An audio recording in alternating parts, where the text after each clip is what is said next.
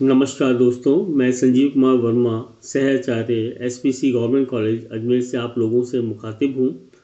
हम BA part first में physical geography के बारे में, कई पॉइंट्स के बारे में, पूर्व की कक्षाओं में चर्चा कर चुके हैं।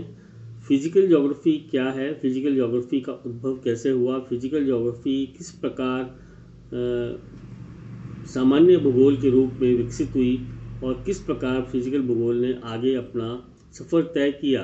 इसके बारे में हम चर्चा कर चुके हैं। आज हम भौतिक भूगोल की प्रमुख शाखाओं के बारे में या major branches of physical geography के बारे में चर्चा करेंगे।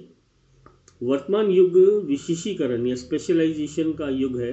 अतः मानव भूगोल और भौतिक भूगोल अनेक उप शाखाओं में विभाजित हो गई है। प्रत्येक उप शाखा का विकास स्वतंत्र विषय के रूप में हुआ है। सभी शाखाओं के भिन्न भिन्न विषय क्षेत्र भिन्न भिन्न उद्देश्य हैं। फिर भी ये सभी शाखाएँ भौतिक भूगोल से घनिष्ठ रूप से संबंधित है। इन शाखाओं का संक्षिप्त विवरण इस प्रकार है। पहला, भू आकृति विज्ञान या जियोमॉर्फोलॉजी। भू आकृति विज्ञान भौतिक भूगोल का एक सशक्त आधार है। इसके अंतर्गत विभिन्न श्रेणी के उच्चावत स्वरूपों के निर्माण तथा विकास का अध्ययन किया जाता है। इन उच्चावत स्वरूपों को सेल्सबरी महोदय ने तीन श्रेणियों में विभाजित किया। पहला है, प्रथम श्रेणी के उच्चावच या relief feature of the first order इसमें महाद्वीप और महासागर बेसिन सम्मिलित किए जाते हैं। और दूसरा है, द्वितीय श्रेणी के उच्चावच लक्षण, जिसको हम relief feature of the second order कहते हैं। इसमें पर्वत, पठार, मैदान, झीलें आदि प्रमुख स्तर रूप आते हैं।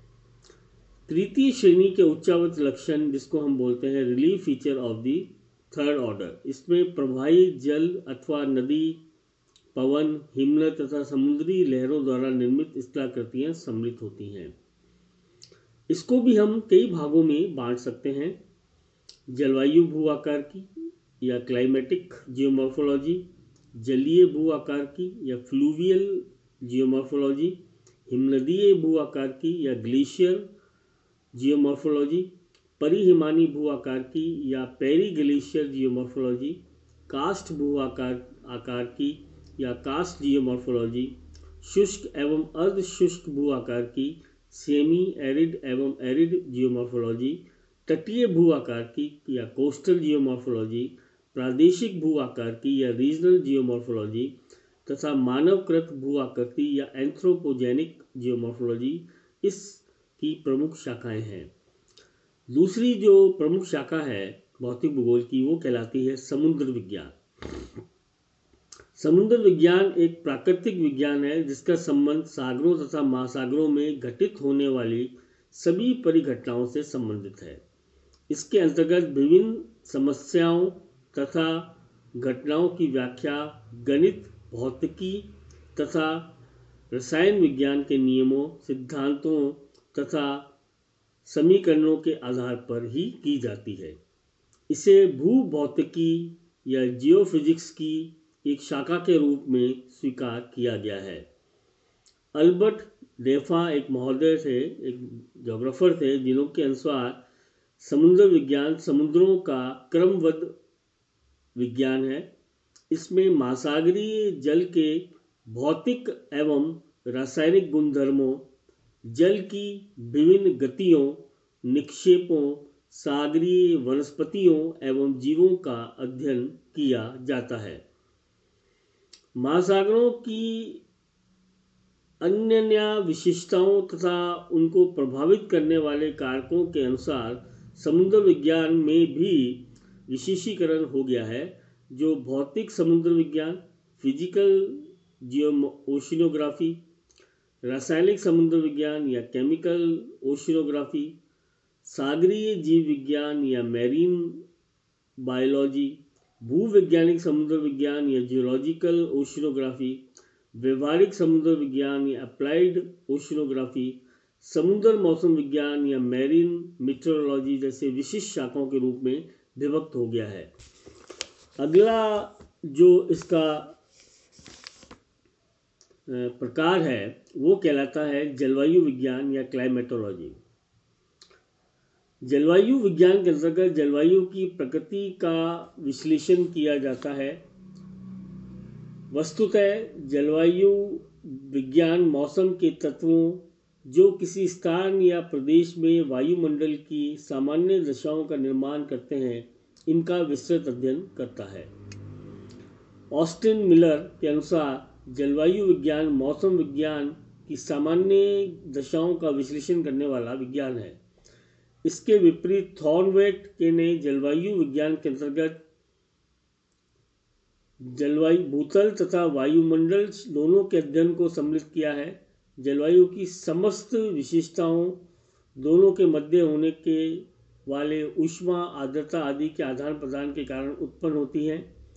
क्रिच फ़ील्ड ने जलवायु विज्ञान की तीन प्रमुख शाखाओं, भौतिक जलवायु विज्ञान, फ़िज़िकल क्लाइमेटोलॉजी, प्रादेशिक जलवायु विज्ञान या रीजनल क्लाइमेटोलॉजी तथा व्यवहारिक जलवायु विज्ञान अप्लाइड क्लाइमेटोलॉजी का उल्लेख किया है। नगरीय जलवायु विज्ञान या अर्बन क्लाइमेटोलॉजी, जीव जलवायु विज्ञान, बायो क्लाइमेटोलॉजी, कृषि जलवायु विज्ञान, एग्रो क्लाइमेटोलॉजी चिकित्सा जलवायु विज्ञान या मेडिकल क्लाइमेटोलॉजी और वास्तु जलवायु विज्ञान या आर्किटेक्चरल क्लाइमेटोलॉजी आदि जलवायु विज्ञान की अन्य प्रमुख नवीन शाखाएँ हैं। चौथा भाग जो फ़िज़िकल जोग्राफी के अंतर्गत लिया जाता है, वो कहलाता है जीव भूगोल या बायोजोग्राफी पृथ्वी के चतुर्दिक एक संकीर्ण पेटी में जीव मंडल विस्तृत है, जिसमें समस्त स्थल मंडल कुछ गहराई तक जलमंडल तथा कुछ ऊंचाई तक वायुमंडल के भाग सम्मिलित किए जाते हैं। इसी संकीर्ण पेटी में पृथ्वी का समस्त जीवन संकेंद्रित है। स्ट्रॉलर महोदय ने 1971 के अनुसार पृथ्वी के सभी जीवित जीवों तथा उनका पर्यावरण जिसमें वह पारस्परिक रूप में आपसी संबंधों में रहते हुए क्रिया करते हैं, उनको सम्मिलित कर हम उसको जीव मंडल के रूप में देख सकते हैं। जीव मंडल का अध्ययन जीव भूगोल के अंतर्गत किया जाता है। एंडरसन के अनुसार जीव भूगोल मानव एवं उसके समस्त चेतन तथा अचेतन पर्यावरण के मध्य जैविक संबंधों का अध्ययन करता है।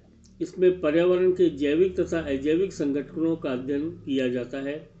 जीव भूगोल में सभी जीवों के वितरण, विकास आदि का ऐसा उनके काल सापेक्ष के अंतर्गत अध्ययन किया जाता है। साथ ही उनकी प्रादेशिक भिन्नताओं का भी उल्लेख होता है। जैव भूगोल की दो प्रमुख शाखाएँ, पादप भूगोल प्लांट जोग्राफी तथा प्राणी भूगोल, एनिमल जोग्राफी और जू जोग्राफी इसमें सम्मिलित किए जाते हैं। हम अब थोड़ी सी चर्चा जो अगली कक्षा है, उसके बारे में जो पढ़ेंगे, उसके मैं रूपरेखा के बारे में आपको आज उससे अवगत करा देता हूँ कि भौतिक भूगोल का ऐतिहासिक विकास किस प्रकार बड़ा या historical development of physical geography किस प्रकार। पूरा पाषाणकालीन मानव नितांत आदिम अवस्था में जीवन यापन करता था। ये प्राकृतिक परिघटनाओं तथा प्रकोपों का एक मूक दर्शक मात्र था। वह इन परिघटनाओं की प्रकृति के कारणों से अनभिज्ञ था। अतएव इनसे भयभीत रहता था। वह अनेक प्राकृतिक तत्वों को देवी देवताओं के रूप में पूजता था। कालांतर में प्रकृति से निरंतर संघर्ष करते हुए मानव के प्राकृतिक तत्वों के ज्ञान में वृद्धि हुई। वह इन घटनाओं को प्रकृति प्रदत्त न मानकर उन्हें अब अन्य शक्तिजन्य मानने लगा। सभ्यता के उदय काल में भारतीय तथा पाश्चात्य विचारकों में नवीन विचारों का उद्भव हुआ। किंतु उनका चिंतन दार्शनिक अधिक व्यवहारिक एवं वैज्ञानिक कम था। भारतीय ऋषि मुनियों तथा यूनानी दार्शनिकों ने इस दिशा में वैज्ञानिक प्रयास आरंभ किए। इन्होंने विभिन्न प्राकृतिक परिघटनाओं के कारणों की खोज करना प्रारंभ किया। ये भौतिक भूगोल का आधारभूत ज्ञान था। भारतीय एवं यूनानी चिंतकों में भौतिक भूगोल संबंधी तथ्यों की महत्वपूर्ण स्थान दिया गया है, क्योंकि हम जानते हैं कि जो भौतिक भूगोल है, उसका जो उद्भव हुआ, वो ईसा पूर्व से 300 ईस्वी पूर्व स्टार्ट हुआ और किस प्रकार आगे बढ़ा, उसको हम इस ऐतिहासिक परिप्रेक्ष्य में देखेंगे। इसके अलावा मैं ये कहना चाहता हूँ कि इन्हीं चिंतकों के फलस्वरूप कालांतर में भौतिक भूगोल का स्वरूप निर्धारित हो सका है। इन चिंतकों के पूर्व भौतिक संबंधी तथ्य खगोल शास्त्र गणित ज्योतिष शास्त्र तथा अन्य शास्त्रों के माध्यम से वर्णित होते हैं।